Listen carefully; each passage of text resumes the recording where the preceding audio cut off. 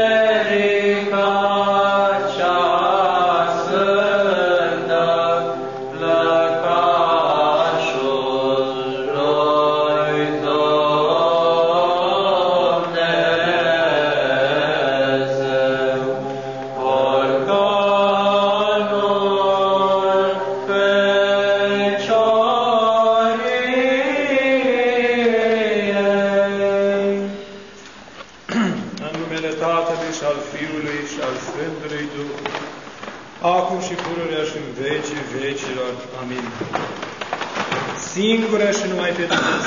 Dumnezeu văzând, singură și numai de Dumnezeu văzută,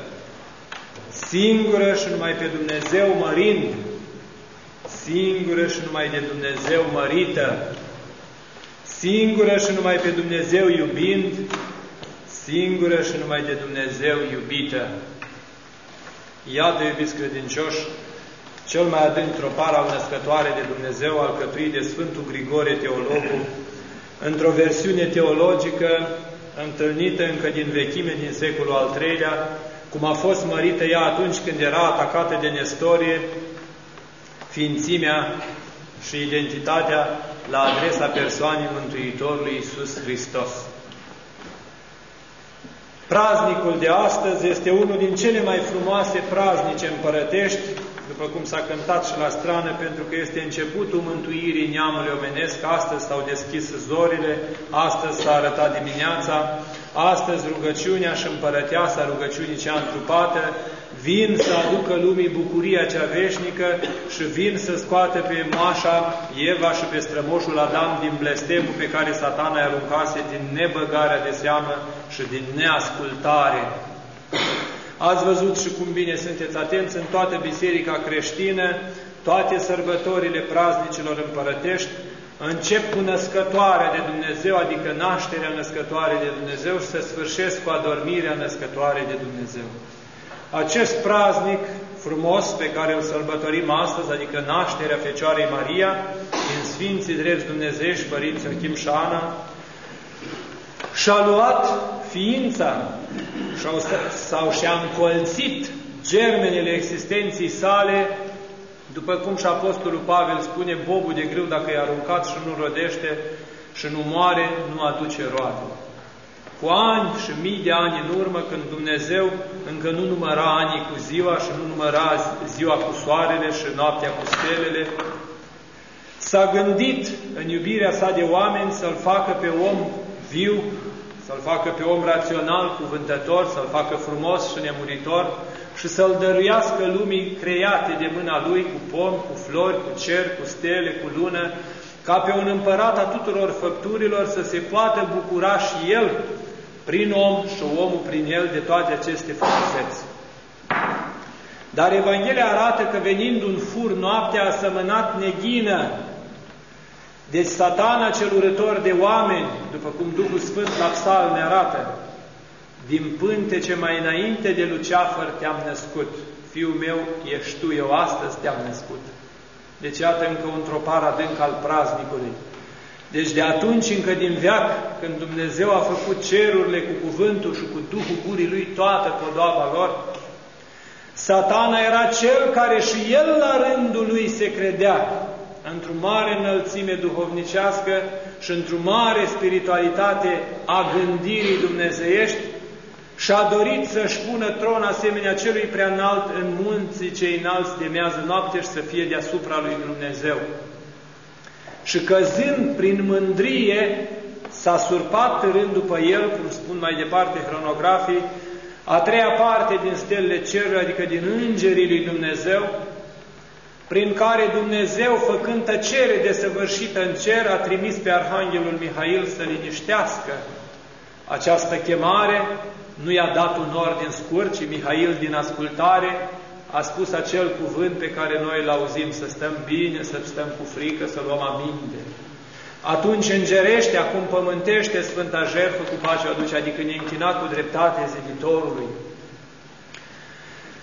Și iată că a încetat căderea. Dar ca să înceteze această cădere, Dumnezeu a fost nevoit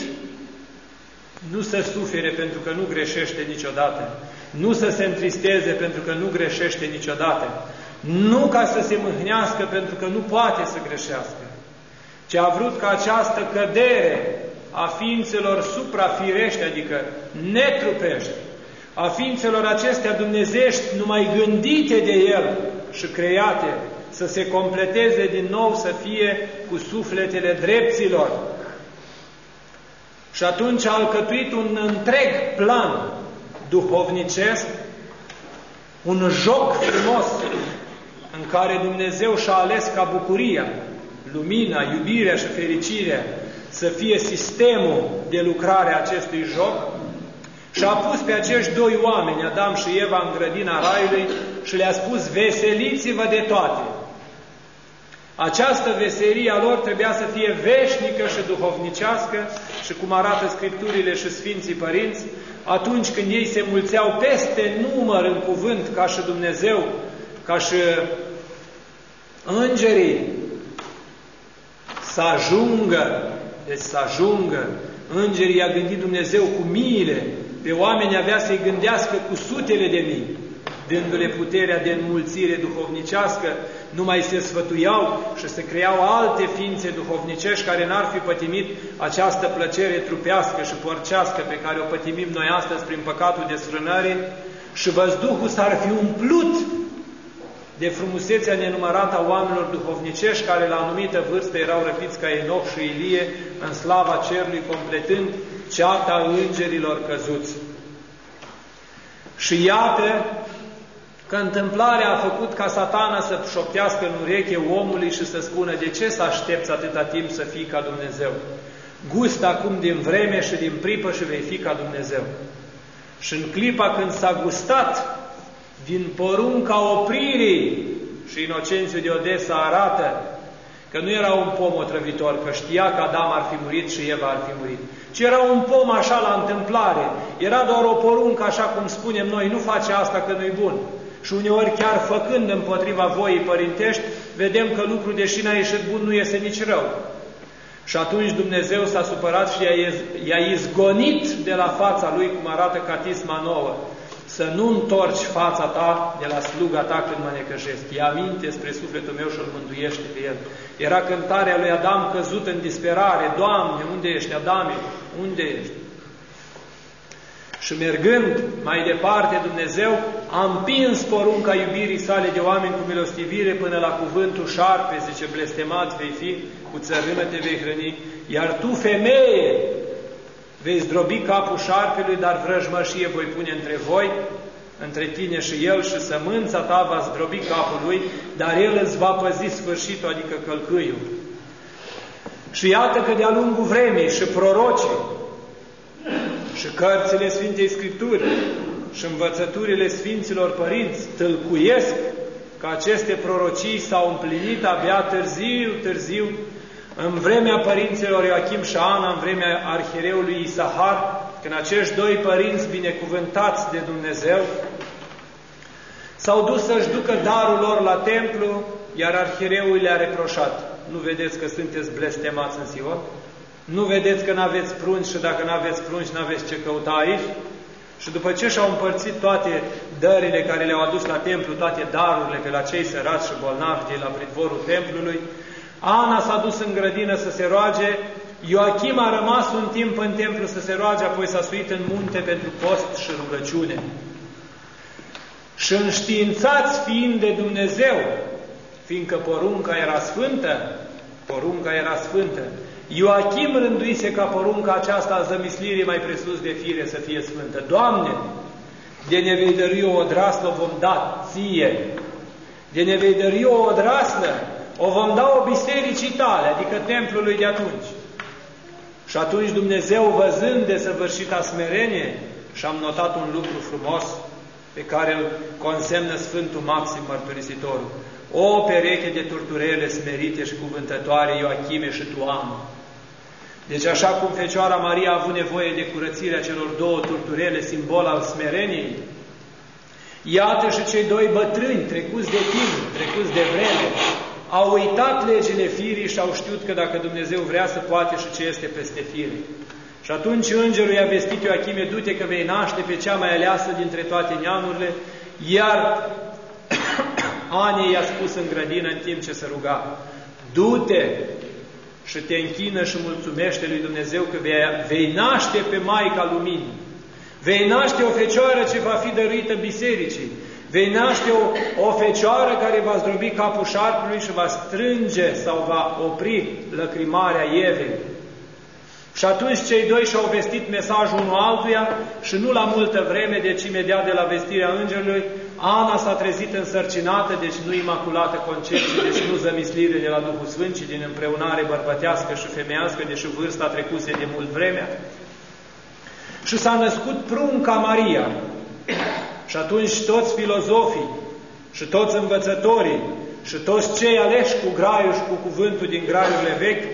și-au permis să întrebe cine este aceasta roșită cu vopsele poleite de aur, cine este aceasta atât de frumoasă ca zorile și curată ca dimineața, cine este aceasta care a întrecut curățenia crinilor lui Solomon, cine este aceasta care a întrecut strălucirile soarelui, cine este aceasta care este mai curată, auziți ce spune o cântare, arătatu-te pe tine Dumnezeu mai aleasă decât gândurile îngerilor,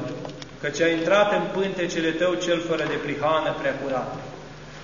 Deci nici îngerii nu aveau acea gândire înaltă și curată ca Fecioarei Maria, deci iată cine se năștea din pântecele lui Achim și Anei și cine avea să vină să zdrobească capul șarpelui o fecioară pruncă de 12 ani, care negândindu-se la casa părintească, negândindu-se la familie și la bătrânețea lor, la trei ani este adusă în templu la Ierusalim și închinată bisericii, de aceea îi se și spune în toate cântările și este și una la strană. Biserică Sfințită și Rai Cuvântător. Deci Biserică Sfințită și Rai Cuvântător. Stătuta împărăteasa de-a dreapta în haină înfrumusețată. Nu numai în cer la Sfânta Treime, ci și în Sfânta Sfintelor a stat de-a dreapta, adică locul unde arhireul trebuia să aducă jertfă, venea ea să se facă arhistratega oștilor cerești venea să se facă Doamna Heruvimilor și a Serafimilor și cum spune Sfântul Maxim, mai frumos decât atât, femeie deasupra Serafimilor s-a făcut ca să ascundă cuvântul lui Solomon cel neînțelept, prin păcate, nu prin darul ce l-a dat Dumnezeu, să arate că nimic nu-i nou sub soare. Adică să arate că mai, e, mai este și va mai fi încă când Dumnezeu va vrea și ceva nou sub soare. Iată, nou sub soare este că femeia stă deasupra serafimilor și heruvimilor. Stă deasupra heruvimilor și a serafimilor stând pe pământ, pentru că cerul și pământul în cântec răsună, îngeri și oameni cântă împreună. Fiul cel mai înainte de veci, și iarăși un lucru extraordinar de frumos, cum spune mai departe Sfântul Maxim, pentru că el a tratat cel mai frumos aceasta, fără de poft a fost Dumnezeirea născând pe Fiul înainte de toți vecii. Dar fără de poft a fost pântecele Fecioarei prin economie născându-L pe cel mai înainte de ani și înainte de vremi, sub vremi și sub ani. Și iată cu rânduiala lui Dumnezeu, din pântece, din pântece fecioresc, din pântece curat, din pântece aprins ca rugul din Sinai, din pântece mai sfânt decât cadelnița de aur, din pântece mai sfânt decât chivotul legii în care stăteau tablele legii și din pântece mai sfânt decât Sfânta Sfinților se naște Sfântul Sfinților. Iată cum spune și mai departe cântarea și cum arată Sfânta Scriptură, că zice, mărește suflete al meu pe Domnul, că mi-a făcut mie mărire cel puternic. Deci nimeni dintre oameni n-a putut să arate vreodată puterea gânditoare și feciorelnică a rugăciunii decât Fecioara Maria. N-a văzut pe cel mai înainte de veci, nu l-a simțit, nu l-a pipăit, precum a fost Adam și Eva, și spune că mi-a făcut mie mărire cel puternic. A tot puternic este numele Lui și mila Lui din neam în neam spre cei ce se tem de dânsul. Și dacă vom, ur vom urmări cântările, deci dacă vom urmări cântările mai de departe de la strană, care se cântă întotdeauna la ceea ce ești mai cinstit, acea binecuvântare pe care a rostit-o Maria în fața Elisabetei, vom vedea că era plină de Duhul Sfânt și prorocie, când ea spunea, iată de acum mă vor ferici toate neamurile. N-au fericit-o toate neamurile până la noi, că mulți nu o fericesc, ci au fericit-o toate neamurile de la noi înapoi, pentru că toate popoarele lumii și până la ieșirea Mântuitorului de la înviere și înălțarea la cer, stăteau și tremurau în pântecele iadului, după cum David arată din nou în psalm.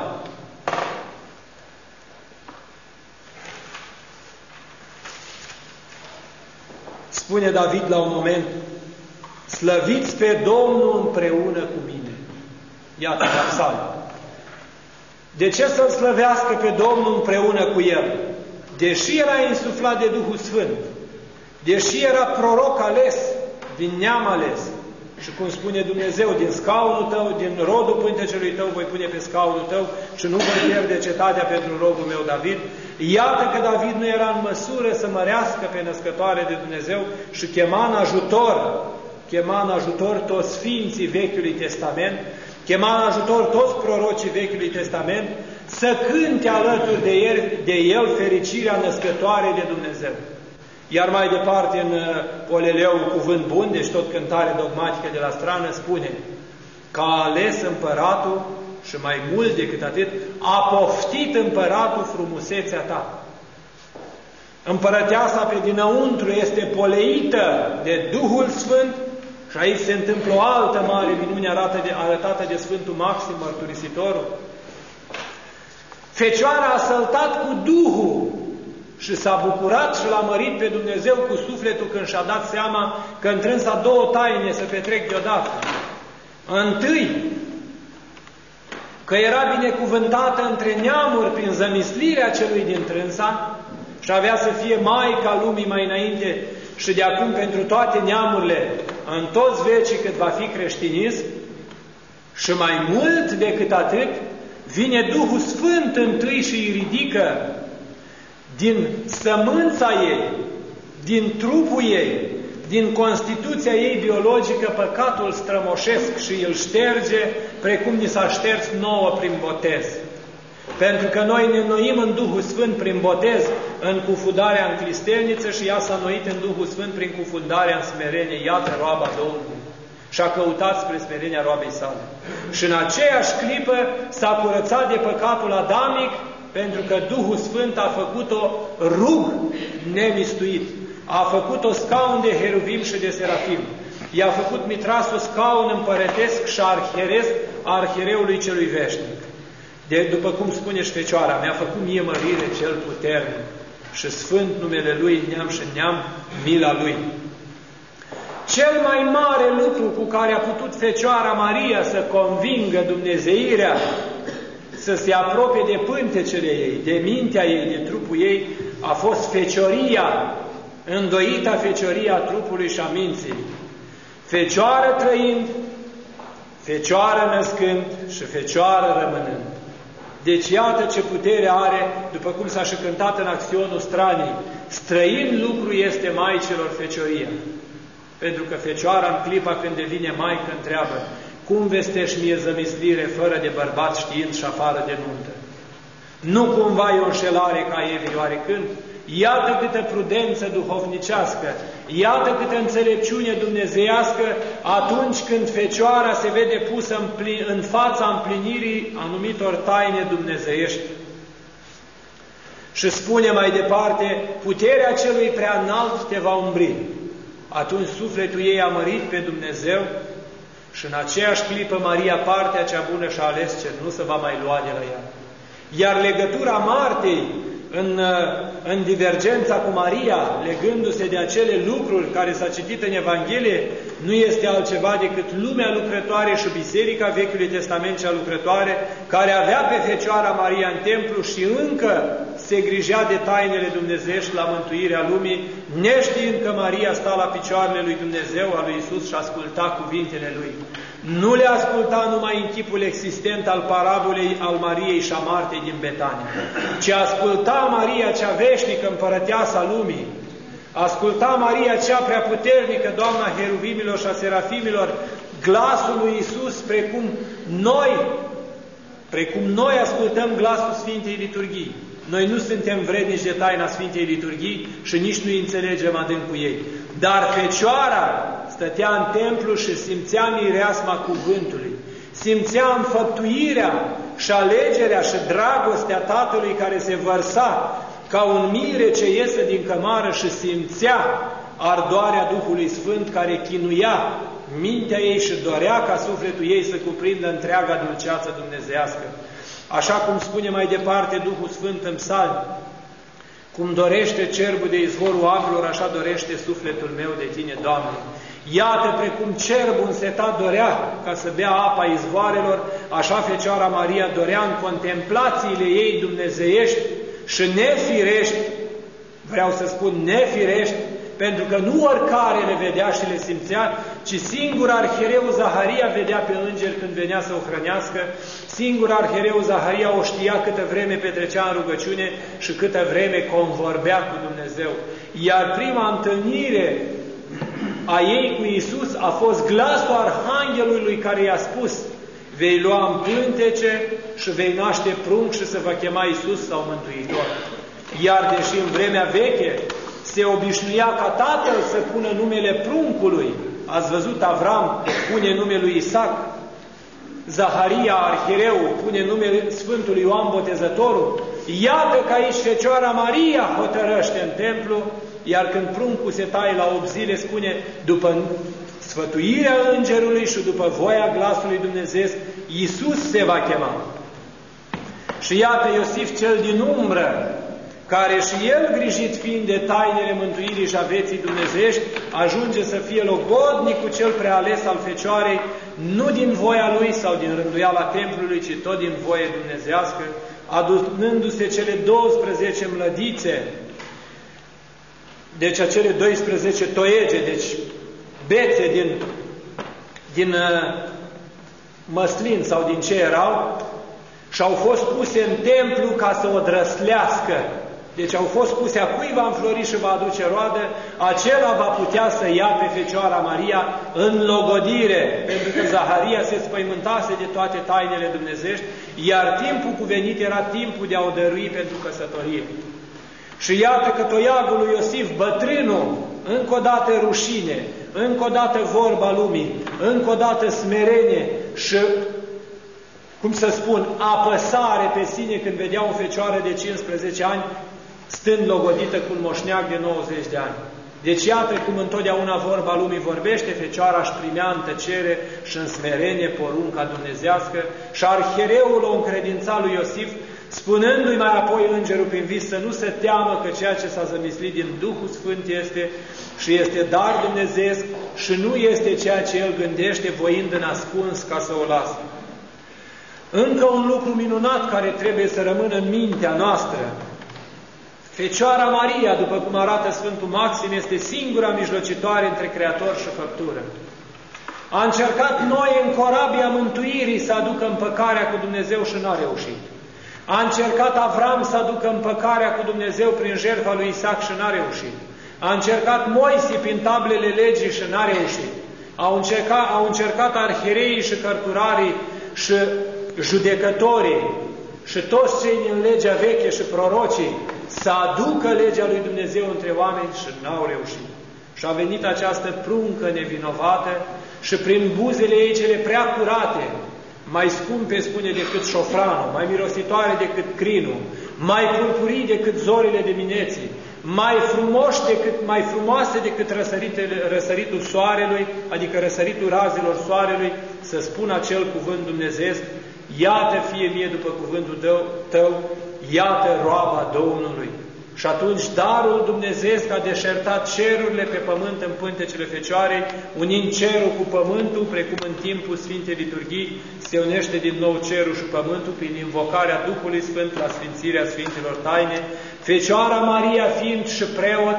Fecioara Maria fiind și jerfelnic, Fecioara Maria fiind și prescura duhovnicească ce trebuia jerfită și Fecioara Maria fiind și jertfitor. Deci Duhul Sfânt le împlinește și le încheagă și le întrunește în ea pe toate. Duhul Sfânt o curățește, Duhul Sfânt o pregătește de jertfa și de marea taină, Duhul Sfânt aduce zămislirea mai presus de chip și de fire, neschimbată, neștiută, neumbrită, cum spune mai departe, și în același timp Duhul Sfânt preamărește pe Dumnezeu cerului și al pământului din Fecioara Maria, cel născut mai înainte de toți vecii, după economie, cum spune într-o rugăciune, nu cu năluciri înfricoșându-ne pe noi, ci dând adevărată tămăduire trupului și sufletului, zicând te-ai făcut sănătos, de acum să nu mai greșești. Adică te-am ridicat din moartea veșnică și te-am adus la viața veșnică. Un alt lucru care trebuie știut și trebuie să ne rămână în minte este și acesta. În așa fel cum omul n-a putut să înțeleagă vreodată taina întrupării Fiului, adică taina nașterii Fiului din Tatăl, taina rămâne în veci taină și nimeni nu va înțelege venirea Fiului din Fecioară, pe care Sfinții Părinți o asemuiesc cu focul care ar arde în sus. Sfinții Părinți o asemuiesc cu focul care ar arde fără să mistuie. Și apoi mai departe, numirile născătoare de Dumnezeu, cum spune acolo, în toată, în toată învățătura Vechiului Testament. Dacă ea îi spune nor duhovnicesc, este mai presus decât norul că a odihnit pe Hristos. Dacă ea îi spune scară, pe ea s-a coborât Dumnezeu. Dacă ea îi spune cadelniță, în ea a ars cărbunele Dumnezeirii. Dacă ea îi spune tabla legii, în ea a stat legiuitorul. Dacă ea îi spune toiagul lui Aron, în ea a înflorit soarele dreptății. Dacă ea îi spune rug nears, ea nu s-a mistuit de dragostea de Dumnezeu, iar dragostea de Dumnezeu a mistuit focul Dumnezeirii. Deci focul cel firesc a mistuit focul cel nefiresc. Focul iubirii de Dumnezeu a mistuit flăcările cele dumnezești care puteau să o ardă cu dreptate, dar s-au revărsat din iubirea de oameni și încă până la ce iubire de oameni, până la jerfirea pe a unicului său fiu, dându-l lumii și dându-l la moarte pe cruce și dându-l să, ră, să răscumpere din moartea iadului și din moartea diavolului tot neamul omenesc. Eva l-a mărit pe diavol prin neascultare, Eva l-a micșorat pe Dumnezeu prin nesupunere și gustare, iar Maria l-a mărit pe Dumnezeu prin smerenie și înfrânare și în aceeași clipă l-a nimitnicit pe satana și l-a așezat așternut picioarelor, după cum și spune, izgonitoarea dracilor. Numai cât o văd și să cutremură, numai cât îi aud numele și să înfricoșează, numai cât îi zăresc strălucirile podoabei și ale hainei și să înspăimântă și pierd cum pierde fumul de la fața focului și cum se topește ceara, așa pierd dușmanii lui Dumnezeu de la fața Preasfintei Fecioare. Și spune mai departe că Eva plânge și Maria se bucură. Eva se întristează, Maria se veselește. Eva stă într-un doială, stă într-un doială că va putea vreodată oarecând să zdrobească capul șarpelui și așteaptă 5.000 de ani în iad, iar Fecioara Maria, preînchipuită de toți prorocii, din neam în neam și din speță în speță din neamul lui Aron și al lui David, ajunge să se arate lumii, cum spunea în cântarea de la strană, a scăpat foarte repede, luceafăr de dimineață, care te-ai unit cu Hristos soarele dreptății. Deci noi știm că atunci când soarele răsare, luceafărul dispare. Iată, Fecioara Maria este acel luceafăr de dimineață, este acea lună plină care a ascuns întrânsa tainic și neștiut pe soarele dreptății ce ne-a răsărit nouă din întuneric lumină mare, adică, adică lumina mântuirii. Ceea ce am putea noi să spunem mai departe este și aceasta, Fecioara Maria rămâne sceptru creștinilor prin puterea binefăcătoare primită ca dar de la Dumnezeu. Ea rămâne apărătoarea noastră, rămâne bucuria celor necăjiți, mângâierea celor întristați, ajutătoarea celor neajutorați, toiagul orbilor, sprijin sărmanilor și așa mai departe, deci cum o, cum o enumerăm noi în imnul la catism, dar mai mult decât atât rămâne mireasa Tatălui, rămâne Biserica Duhului Sfânt și rămâne Maica Fiului în veci. Iată un lucru minunat când am spus că de acum mă vor ferici toate neamurile, Fecioara Maria avea să prezică și să arate prin prorocii că va fi ponegrită și va fi vremuri când unii vor încerca să tragă de haina de aur cum a tras de haina lui Hristos. Unii vor încerca să sfâșie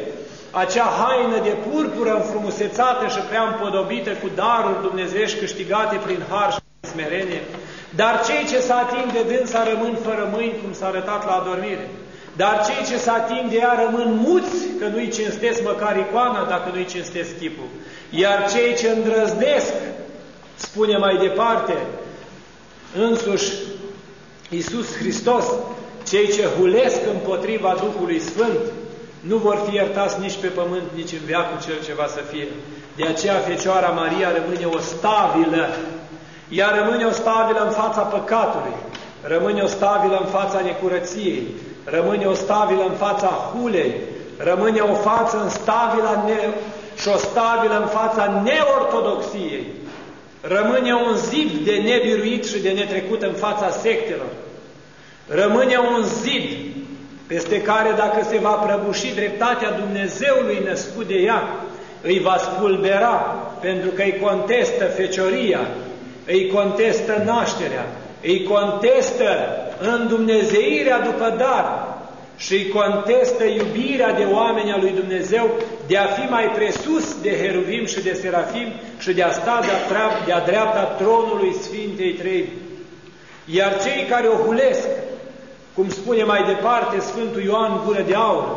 trebuie pocniți peste gură ca să sfințim mâna cu care am lovit să n-ajungă ei să întoarcă planul mântuirii lui Dumnezeu și să spună că Dumnezeu s-a pogorât dintr-o femeie oarecare, a venit printr-o femeie oarecare și a venit printr-o femeie ca oricare. Ci ea a fost o fecioară mai presus de fire, a fost o mamă mai presus de fire și a rămas o mireasă mai presus de fire. A fost mireasa Duhului Sfânt, lucru negândit și neconceput de nimeni nici până acum și nici mai înainte de toți vecii. A fost Maica și a fost stăpâna, dacă vreți, temporară și ocrotitoare a Mântuitorului Iisus Hristos, atât cât timp l-a purtat în brațe în peștera din Bitleem, atâta timp cât l-a dus la Ierusalim, la templu și cât a trăit la casa din Nazaret, iar atunci când ea nu înțelegea cu mintea tainele mai presus de fire, Mântuitorul Iisus Hristos, prunc fiind, îi spunea, eu trebuie să împlinesc porunca Tatălui meu,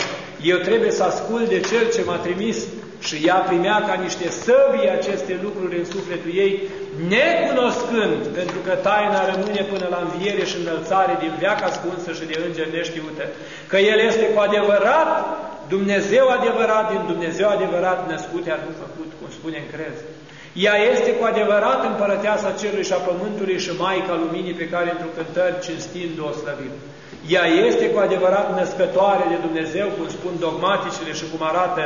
sinoadele Sfinților Părinți, adică Teotoches născătoare de Dumnezeu și nu născătoare de Hristos. În Hristos n-a fost o bucățică de Dumnezeire, ci toată Dumnezeirea deșertată și întrupată, Sfântul Atanasie, prin deșertarea în chip de rob a făcut pe om Dumnezeu. Și mai departe decât atât, hulește și pe cei din alte culte neocreștine care i-au adus venerații mai presus de venerații. Nu are nevoie Fecioara Maria de a fi slăvită de noi prin Imaculată Concepție. Nu are nevoie de noi Fecioara Maria să fie numită regină. Nu are nevoie Fecioara Maria să o numim noi Grația. Nu are nevoie Fecioara Maria să-i punem noi mărgeluțe la gât și steluțe în jurul capului, ci cele trei stele feciorești, înainte, după și în naștere, rămân veșnic stelele cele strălucitoare cu care a biruit firea omenească, a biruit firea femeiască și nicio femeie până la ea nu s-a suit mai presus de heruvim și de serafim. Așa cum Ioan Botezătorul a fost cel mai mare om născut din femeie și înger în trup, dar mai mic în împărăția lui Dumnezeu, așa Fecioara Maria a fost cea mai mare femeie născută și mai presus decât un înger în trup și a fost mai mare în împărăția lui Dumnezeu pentru că a devenit arhistratega oștilor cerești, doamna heruvimilor și a serafimilor împărăteasa cerului și a pământului. Fecioară mai înaltă decât cerurile. Cerurile cerurilor pe care noi le pomenim la psalm sunt cu mult mai jos și sunt poate, mai, poate sunt mai mici decât treptele lui Solomon zidite de Zorobabel pe care ea le scrie în cântări și psalmi duhovnicești, decât puterea ei duhovnicească de a ajunge la slava Sfintei Treim, de a dreapta lui Dumnezeu Tatăl și a întregii Dumnezei să cârmuiască prin lacrimi și prin rugăciuni pocăința și iertarea neamului omenesc. Se suie odată firea omenească la Hristos prin trupul lui și este îndumnezeită și se suie a doua oară prin Fecioara Maria ce stă de-a dreapta Sfintei Trei și iarăși este îndumnezeită și prin Ioan Botezătorul ce stă de-a stânga Sfintei Trei, asta în chipul nostru imaginar că Dumnezeirea nu are stângă și dreaptă decât iad și rai, și stă în Dumnezeită și ne dă nouă prilej de înălțare și cugetare, după cum spune mai departe iarăși o cântare, Strigați Domnului tot pământul, cântați în glas de bucurie, cântați și vă bucurați. Duhul Sfânt în psalm. Iată, nimeni nu poate să aducă laudă sau cântare Fecioarei Maria decât să strige și să cânte cu bucurie. Bucuria este mesajul nașterii, bucuria este mesajul învierii, bucuria este mesajul înălțării, bucuria este mesajul pogorârii Duhului Sfânt și bucuria este mesajul unirii omului cu Dumnezeu prin firea cea păcătoasă a noastră, care a fost îndumnezeită și sfințită de Duhul Sfânt prin Fecioara Maria. În Sfânta Scriptură, iată lucruri mai presus de fire, cap al femeii să fie bărbatul, după cum poruncise mai, mai de mult Dumnezeului Adam. Iar tu, femeie, vei naște fi, iar tu, Adame, să stăpânești pe ea și să fii cap al femeii. Iată că Fecioara Maria depășește acest prag și cum v-am spus, Fecioară mai înaltă decât cerurile, nu se supune unui bărbat și are cap pe Dumnezeu. Deci, iată, mintea Fecioarei Maria ajunge direct la tronul lui Dumnezeu, nesimțind poftă de nuntă și poftă bărbătească, spunând, de ce îmi vestești mie aceasta, eu neștiind de nuntă. Și iată că din nou Fecioara este mai curată decât strălucirile soarelui, pentru că zice, dar dacă mă înșeală ca pe Eva oarecând. Deci raza de lumină, glasul Arhanghelului, cuvântul Dumnezeirii, nu sunt îndeajuns să lămurească mintea cea prea curată a Fecioriei, care contemplă, cum spunea mai departe, foarte frumos, Sfântul Maxim Mărturisitorul, zice, Fecioara a trecut cu mintea contemplarea cea duhovnicească, pentru că n-a fost gândită cu chip și cu formă, ci a fost cu gândirea cea mai înaltă, direct în contemplație, prin unirea cu Dumnezeu, după cum spune și mai departe, iarăși între troparul cu care am început. Te-a arătat pe tine Dumnezeu mai aleasă decât gândurile îngerilor. Deci nici îngerii n-au avut măsura gândirii Fecioarei Maria, prin faptul că gândind și înălțându-se netrupești fiind au căzut, iar Fecioara Maria trupească fiind netrupească s-a făcut și a gândit până acolo încât îngerii s-au plecat așternut picioarelor ei, îi se închină cu dragoste și cu smerenie, precum tot poporul creștinesc, care cântă și îi laudă cu psalmodii și cântări duhovnicești, cinstita icoană, cinstita putere, și nemăsurata iubire. În bisericile creștine, Fecioara Maria și are locul cel de cinste și în catapeteasmă și în strauna din care o vedem în toate mănăstirile cu candele, dar mai mult decât atât, și are locul în inima fiecărui creștin prin paraclisul ce se citește în fiecare zi la casa lui și mai mult decât atât, în bisericile creștine este o, creștine este o crotitoare cu hram al adormirii, cu hram al bunei vestiri, cu hram al nașterii, cu hram al intrării în biserică, cu hram, deci de închinarea pruncului la 40 de zile în templu, deci intrarea în templu, deci la 40 de zile. Deci Fecioara Maria are multe hramuri cu care patronează bisericile și mănăstirile creștine și mai ales și-a ales, deci ca grădina aleasă, grădina Sfântului Munte, unde majoritatea bisericilor au hramul născătoare de Dumnezeu, afară și de al doilea hram a vreunui Sfânt Ocrotitor, Nicolae sau Sfântul Gheorghe sau alt Sfânt pe care îl mai ocrotește mănăstirea respectivă, dar mai mult decât atât, deci Fecioara Maria și are loc în inima omului. Niciun om nu concepe mântuire fără ajutorul Fecioarei Maria, niciun om nu concepe mântuire sau sfințire în biserica cea mărită a slavei lui Dumnezeu fără prezența Fecioarei Maria, așa cum este ea, ea invocată la toate slujbile și toate erurgiile, pe născătoare Dumnezeu și Maica Luminii, pe Preasfânta Fecioara, Preacurata, Prea Binecuvântata și așa mai departe, sau ceea ce ești mai cinstită și toate imnele acatiste care au fost închinate și făcute încă din vechime și cele mai des deci pe care noi le folosim, imnul Sfintei Bune Vestiri, deci acatistul Bune Vestiri, care este grabnic ajutător și este cel mai dogmatic decât toate și folosit în biserica creștină, pentru că acolo în Icosul al nouălea spune destul de categoric. Filozofii și ritorii cei mult vorbitori au rămas ca pești fără de glas, neștiind ce să spună. Întunericul nu poate vorbi de lumină.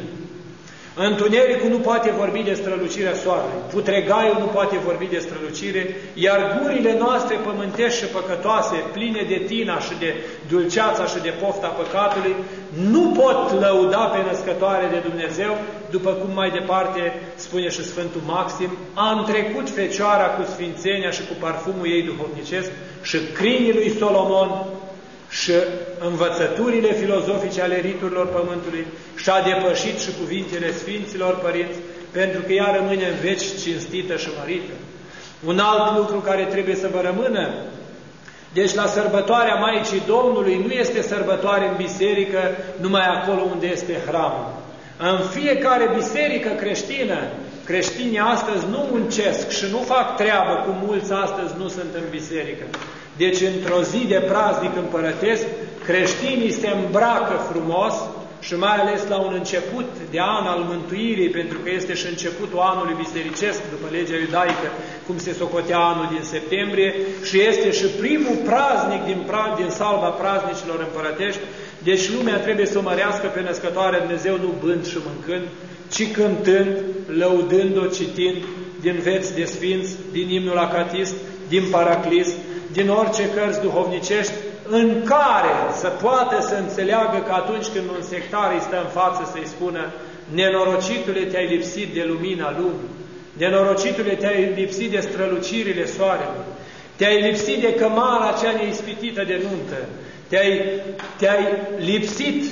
de raiul cel însuflețit și cuvântător și de biserica cea sfințită și te-ai lipsit de Maica Soarelui dreptății. Iar când îl auzi vorbind și hulind, să-l blastăm,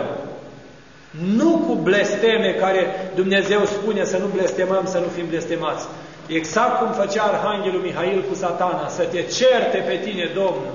Deci să-i socotim ca niște furși și tâlhari care vin să răpească din inima și din sufletul omului chemarea Preasfintei Născătoare de Dumnezeu, care are pereninaje întregi în toată țara cu prilejul hramurilor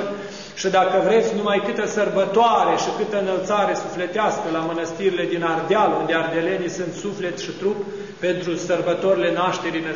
sărbătorile născătoare de Dumnezeu și apoi în toată zona neamțului unde sunt acelelalte mănăstiri mari din salva mănăstirilor frumoase nemțene, unde născătoare de Dumnezeu este cinstită în cântări și în privegheri și în rugăciuni de toată noaptea, pentru invocarea milei și dacă ar vrea Fecioara Maria să ne dea un cuvânt de folos, ea nu ne îndeamnă decât să privim strălucirea soarelui de afară și frumusețea zilei de astăzi, care nici pe de departe nu este mai frumoasă sau mai strălucitoare decât fața ei cea adevărată cu care este privită de Dumnezeu și cu care de la Dumnezeu privește spre lume. Ceea ce trebuie să rămână în sufletul și inima noastră, să avem în minte ca toate Mariile deci toate Mariile să nu poarte acest nume împărătesc format din slove dumnezeiești, care înseamnă luminătoare sau împărăteasă. Să nu poarte acest nume spre o cară, că Maria, sora lui Moise, era înțeleaptă și știa să prorocească.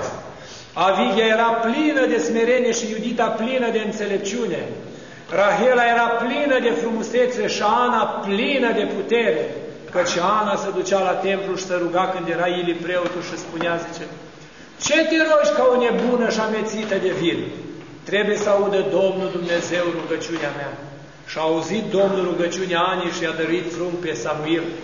Și iată și Fecioara Maria a fost rodul rugăciunii lui Achim și Anei, deși cei din jurul lor îi socoteau spurcați și necurați sau nevrednici de a aduce sămânță în Sion, și când Dumnezeu a rânduit, i-a glăsuit Anii și i-a spus, Sara l-a născut pe Isaac, lui Avram. Ana l-a născut pe Samuel și tu vei naște fică pruncă ce va fi mântuitoare lumii, ce va fi preamărită de toate neamurile, ce va fi luminată și cinstită de toate gurile. Deci iată că astăzi este sărbătoarea și începutul mântuirii, când Fecioara Maria vine să se arate lumii cu fața ei plină de iubire, plină de lumină, plină de feciorie, plină de curăție, plină de haruri, plină de daruri, plină de Duhul Sfânt, în vecii vecilor. Amin.